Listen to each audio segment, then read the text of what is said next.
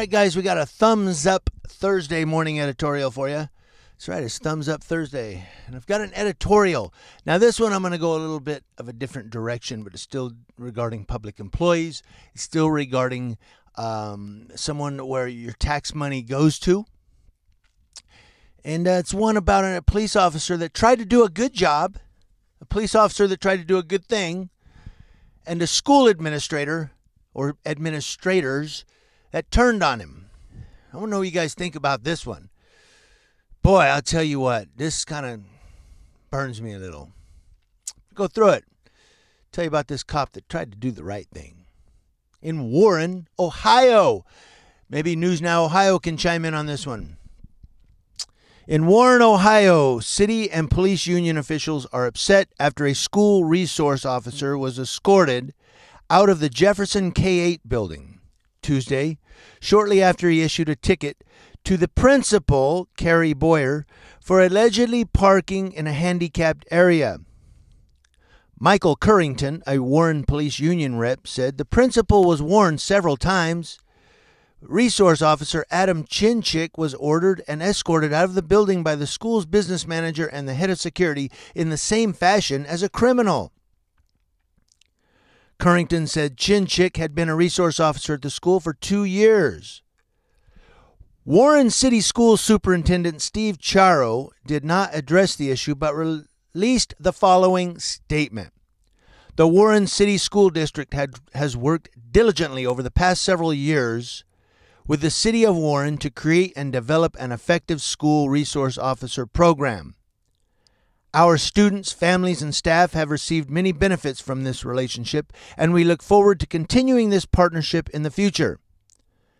It is our belief that an individual event or series of events should never impede what we have accomplished or affect the positive rapport and interactions our students and staff experience with our resource officers each day. So, is he saying that? I, am trying to read into this, and it's not real clear whether he's saying that the school principal should have acted better or that the resource officer shouldn't have tried to issue a citation. I'm not clear what he's saying here. Maybe that's the purpose.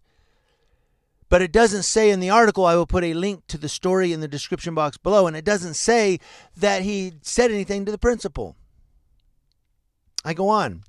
Currington, the union rep, said our officer was upset because he had promised a second grader he would have lunch with her and he wouldn't or he couldn't explain to her why he wouldn't be there. He was more upset about the student. Currington said that Officer Chinchik remains working for the police department, but they hope to get him back to his job at the school. Warren City Law Director Greg Hicks says he believes the officer acted properly. Mr. Hicks said, quote, The officer asked her several times not to park there. My understanding, she was parked in the striped area next to the handicapped spot, and that is not allowed. Now, the video that I'll put the link to in the description box below has a Google Earth capture in the video of a car parked in the handicapped stripe zone. In fact, I think there's a there's a picture I put in here of that as well. And allegedly that's the principal's car. And an area now the the stripe zone. Now the the area that's striped there for the handicap zone, it's to allow handicapped individuals to unload and load their wheelchairs from the van. So what happens is the van pulls up into the handicap spot and the little ramp comes down into that striped area because there should be no cars there and the wheelchair can come down in that striped area and go on their way or come up the striped area and then up the ramp and load in the van. But when you've got a car parked there, that's impossible to do.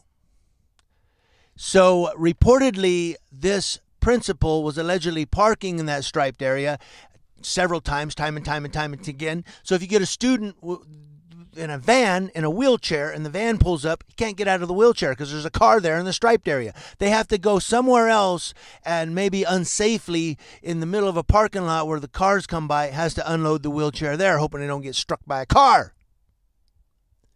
But furthermore than that, what are these students thinking when the police officer says you're parking illegally in a handicapped area? I've told you several times not to do this. I'm going to give you a citation. And he's escorted like a criminal off of the school grounds. What does that tell the students? Hey, cops are nothing. We can do what we want. And while I have people that watch my videos that may not like law enforcement so much, you have to also understand whether we like law enforcement or not, and especially for you public school administrators and school teachers and school principals, you're setting a standard and an example for the students to follow. Whether you like cops or not, you still have to obey the law. News Now Yucaipa. I want to know what you guys think about this. Let me know. It's not all about law enforcement. Sometimes it's about schools because your taxes go to pay these people that are doing whatever they want. Not all of them, but reportedly, this one is doing whatever they want. Hey, I don't care. I'm not taking your ticket. Security, get this cop out of here. What? Let me know what you guys think in the comments section below. Happy Thursday.